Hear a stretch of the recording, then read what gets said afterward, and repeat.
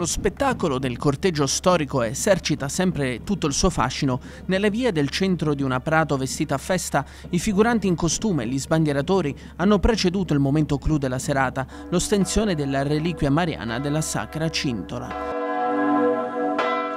L'appuntamento per il comune pratese è utile a rinsaldare i rapporti di amicizia con i comuni gemellati. Ad incontrare il sindaco Matteo Biffoni c'era la delegazione tedesca di Wangen e l'immancabile comune cilentano di Centola, la cui delegazione era guidata dal primo cittadino Carmelo Stanziola. Ho avuto anche il piacere di avere i miei concittadini del centro sociale a cui ho, ho, ho inteso oh, dire, tramandare questa idea di progetto che si è immaginata oltre 20 anni fa di gemellaggio.